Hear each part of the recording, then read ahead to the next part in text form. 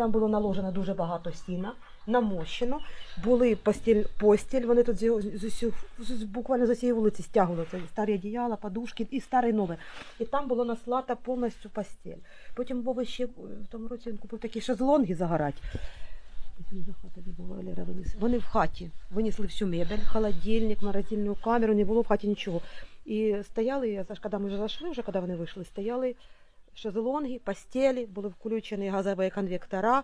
Отут був почти повніший бардак, коробки з таких пайков, з-під сигарет. Я спеціально себе десь в машині для пам'яті себе оставила, для історії, якщо доживу. Є пачка з-під сигарет, сигарети від Путіна називаються.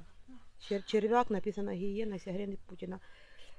І от був і в Вови гараже тут був цілий склад. Я думаю, що вони хотіли це вивезти. Були з сільсовета два принтера, ксерокси, параболічна тарілка отрізана прямо з трубою, тобто зняли. Тобто вони, ну, це, це страшне. Вони стягували сюди все, що тільки велосипед, ще не всі люди не знайшли. Тут куча, вони стягували просто з хат, м, тягнули все, що бачили. Це таке відчуття, що вони люди в житті нічого взагалі не бачили. Вони поражались, у вас є світ і газ? Я говорю, у нас є світ і газ. У нас нет газа і світа. Ну, печ- печально, що ні.